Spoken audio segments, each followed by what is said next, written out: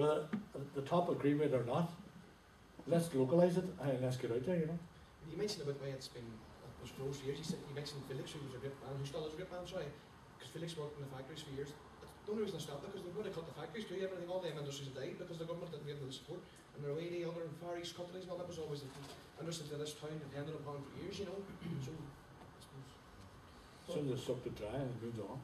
And the beauty also about a trade union council is what we can do as a, as a committee, as a people, as a, is bring committees to communities together, both sides of the community, whereas our political parties are very, but very much polarised, still involved for a considerable time. Trade unionists, in fact, bring everybody together, and we can go forward then with a, with a united voice, which I feel is better than some of our political parties. Okay. Great, so we're- Brian, closing remarks. I would just, I, I, I would just, the, the whole, there's a link between the activity that you do and, and all the discussion that we've had, sort of very interesting, it's been sort of about the need to transform the trade union movement. It's absolutely true that the trade union movement, as says, is not fit for purpose, particularly at the top level. Absolutely isn't. There's very few people more conservative than some of our trade union leaders.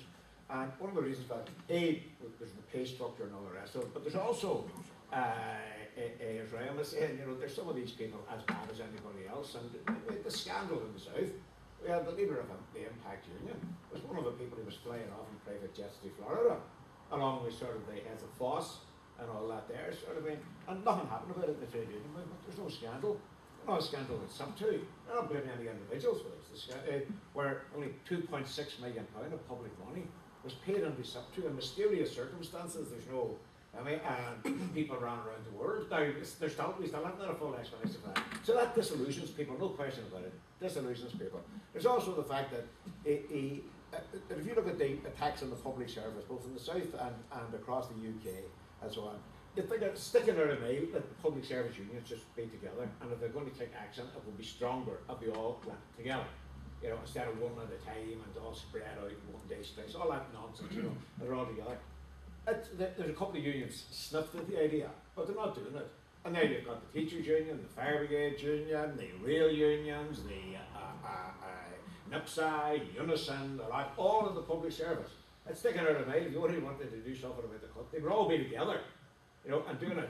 But as against that, all these unions have individual interests, including within me, their own competition for members.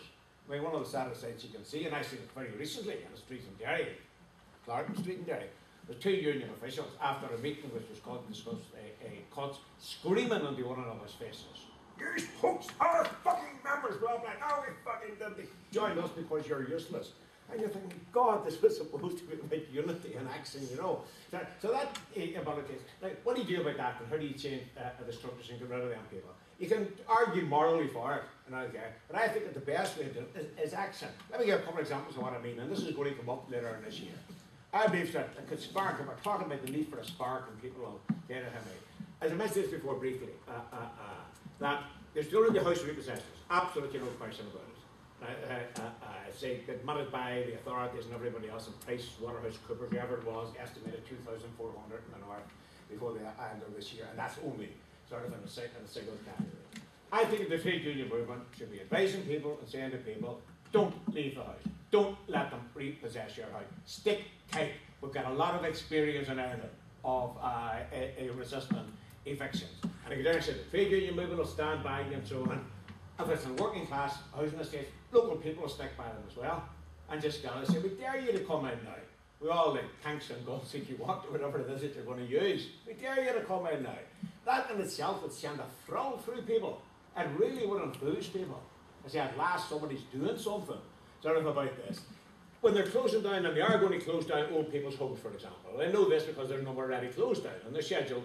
You go, we're involved in the Foyleville, Foyville home, sort of which it closed down. In fact, It was closed down, sort of a, a, a, in the middle of last year, if you get the actual time, eight when it was. Now there you had a situation where there was workers inside, and uh, they were uh, uh, negotiating, now union was negotiating about redeploying, about getting them, making sure sort of that they weren't when the place closed and so on, pay them off.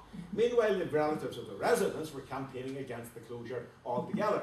And when they knew people, because if your mother was in the place, you would know some of the workers were in there, uh, obviously, there wasn't a coming together about it. But this is going to happen more and more. I think what going to happen there, again, steady families, and you could people in there, not demented people, the vast majority of them, you know, sort of an old folks home and say, stick tight, sit down, we'll defend you. And we'll defend the jobs at the same time because you close that door. For every service you deprive people of, you're undermining jobs as well if the people are provided that service. So there are things there that could actually you know, spark something off. Particularly, in, I, I bet you before the students all sat down in front of Belfast City Hall, I bet there's an awful lot of people didn't know what EMA stood for. They probably knew afterwards. They knew afterwards what it was about. And Danny Kennedy, the minister's having to think twice that all this sweating going on storming now. Can we afford to do it and risk the students coming out again? There's another spark that can work. Sort of students were, everybody said, terribly apathetic. They're not like the old days and all that. There, no radicalism and so on. I was in the middle of the crowd, it's like coming from a Northern Ireland Committee meeting over to the Unison office when I walked into the middle of that outside the City Hall. And it was just brilliant to see.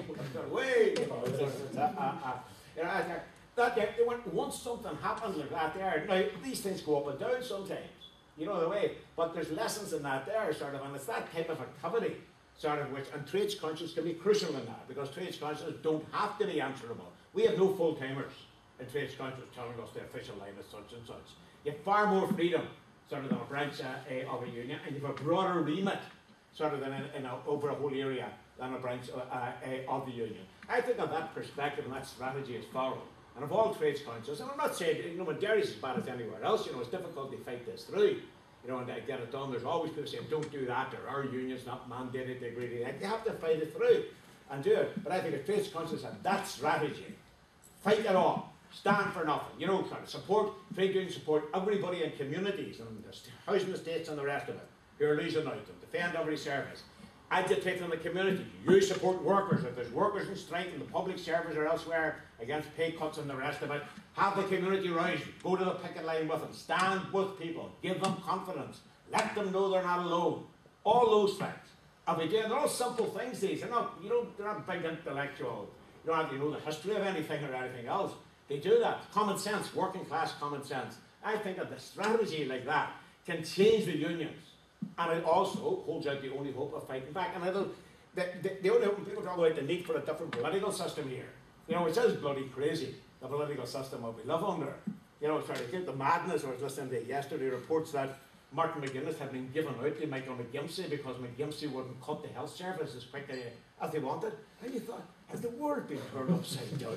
you know, there's McGimpsey on the television talking about, I believe in the NHS from the cradle to the grave you know, quoting Aneurin Bevan and all that there, against Sinn Féin, you think, what's going on here? You know, it's a, a, so there's a lot of flux there. I'm not blaming individuals about that, it's just an observable fact that that's going on.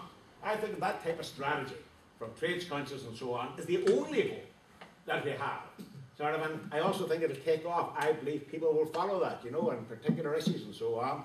If not this, what? I haven't heard anybody come up with a better strategy than this, and I hope the Strabane Trades Council and our own Trades Council in Derry, and I hope on Saturday at the meeting of representatives of trades councils in Belfast we'll have a good ding dong argument about this and encourage all the trades councils to take this view. That's what I'll be saying, anyway. Okay, folks, I'm just going to hand over to Michael for closing remarks, short and sweet. and then I'll over to Tommy. Sure. I thought that, Short really, and sweet, closing remarks. really was upside down there whenever you consider that the Unionist Party that Michael McGimpsey's and begged the British government in nineteen forty-eight not to bring in the welfare system to Northern Ireland because it might even things up. But uh, no, now that we're talking about sparks, um, you know, what, what, what we want to do in the unemployed union is to have a series of marches and rallies right throughout Northern Ireland. And we would like to start in Strabane in the next few weeks because Strabane's got the highest unemployment in Europe. And I mean, I know that young people, I'm looking at some over there now, would, would be far more interested in getting out in the street with a red flag and shouting, you know, Tories out or whatever, than they would be in getting down to all the nitty gritty of the uh, theories of neoliberalism, you know. So, you know, keep this in mind, and I'm asking the Trades Council in Strabane if they'd be on for uh, having a, a march and a rally. And keep in mind, of course, you need 28 days' notice under the rules before you can have a march. Don't be, don't be getting too stuck on the rules before, before we start. Aye. Well, Alan? Okay, um, again, I, I, I think there's a lot has emerged this evening and what we've been talking about with Michael's recommendation for to organise the unemployed. Eamon's recommendation for to look for the tactic, eh, support people in struggle. The idea that we're looking beyond the very, very narrowly confined remit of contemporary trade unionism to what I would argue is now looking at a community style of trade unionism where we're bringing in the wider community behind the issues is what's essential. There's possibly two things. I'd always caution against just thinking that it's a matter of changing the leadership of a trade union because I think it's a much more complex issue than that, although there are many leading trade unionists that would benefit well by being benefit us all by seeing them changed. But having said that, we, we have got to be careful that it's actually the structures we're changing and not just it's not just a swapping of personnel. I think it's too simplistic on occasions. The thing about it is that what if we do bring in that the community behind the unions and integrate them into the unions and we're talking about community unionism, we are making that transformation that we're talking about. And at that stage what I would be arguing for rather than simply saying we, we, we'd change the, the leadership or we'd change some officials, as I say, some of them may well deserve it, but that the argument should be that the trade union movement should be supporting the class rather than different unions supporting different narrow sectors because at that stage it definitely leads to fragmentation and a buyout. But we're looking at, at, at that different that different concept that support for the class rather than a section of workers.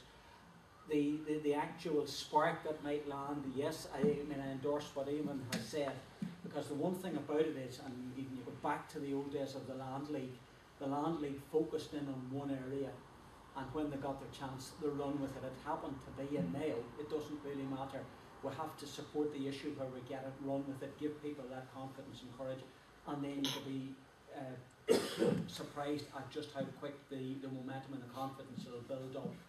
And uh, yeah, that's what we I think have got to do is to look for it, to transform it from the narrowness that we're on at the minute to broadening this in away from a, a narrow base into looking for support for the class. Okay, thank you. Uh, well, to bring it to a close then, just um, thank everybody for coming.